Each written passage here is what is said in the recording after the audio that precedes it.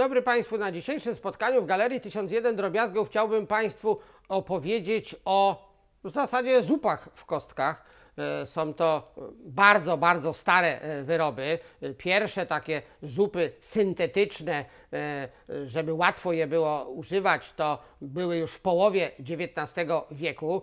Była, była taka firma Libik, która, która, która no tutaj jest akurat kompania Libik i miała bulion Oxo to może akurat ten bulion nie jest najstarszym, y, jak to się mówi, produktem tej firmy, ale jest to wspaniała reklamowa y, filiżanka Libik. Ja z tą firmą mm, mam wiele do czynienia z uwagi na to, że kiedyś y, taki ładne zdobyłem y, takie karteczki, które były w takich zupach i to się zbierało. I tu jest akurat bardzo ciekawe, bo jest po prostu historia zegarmistrzostwa. Mamy zegar y, słoneczny, mamy zegar y, piaskowy, mamy już pierwsze zegary mechaniczne, mamy już takie naścienne, mamy jajo norymberskie, czyli pierwszy zegarek noszony i to jest właśnie reklamówka firmy Libieg. Te firmy różne stosowały wybiegi, na przykład firma Knorr reklamowała się w ten sposób, że na drzwiach, na różnych elementach mocowało się takie napisy, kostki bulionowe Knorr, no i oczywiście były te kostki też w takich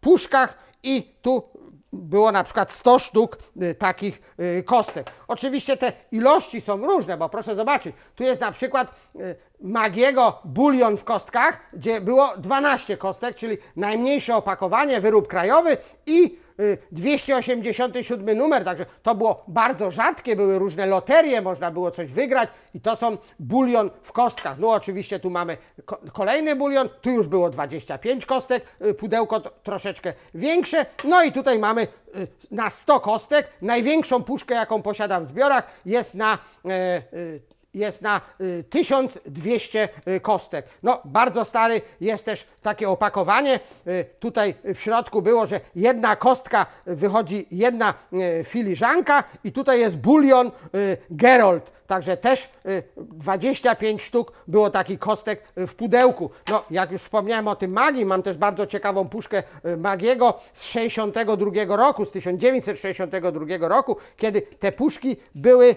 po prostu takie blaszane i już nie były takie ładne jak przedwojenne, tylko były mm, oklejone takim papierem. Tutaj było w środku 300 y, kostek. Jedna kostka kosztowała 50 y, groszy. Przechowywać w chłodnym i suchym miejscu, puszkę szczelnie zamykać. Także jest tutaj kostki y, bulionowe właśnie zakładów poznańskich koncentratów spożywczych. No, Mamy oczywiście najsłynniejsze też kostki Magiego. Tutaj akurat mamy y, barszczyk, 60, y, 60 mm, y, kostek. No i oczywiście tutaj też bardzo ciekawy właśnie też y, na 1000 y, kostek y, mamy y, y, bulionik Magiego. W każdym razie to są takie puszki. Ale ten program powstał po to, żeby Państwu opowiedzieć o tej puszce. Y, Proszę zobaczyć, ja pozwolę sobie przeczytać. Fabryka środków spożywczych, wyrób krajowy, kulinar, spółka z ograniczoną odpowiedzialnością, Czerwonak Poczta Poznań 10, rosół z wołowiny, zawartość 100 kostek. Ta puszka ma być, prze, ma być przechowywana w suchym miejscu. Ta ku, puszka została zrobione, zrobiona w firmie Echma Poznań. Y, Mamy tutaj właśnie, że jest to wyrób krajowy, y, że jest to bardzo y, dobra rzecz. Puszka jest we wspaniałym stanie zachowania i proszę sobie wyobrazić, że wszystko wiedzący internet nic nie wie o firmie Kulinar w Czerwonaku. Próbowałem swoimi kanałami, pytałem dwóch regionalistów z okolic Poznania, którzy zajmują się historią kupiectwa, czy coś na ten temat słyszeli.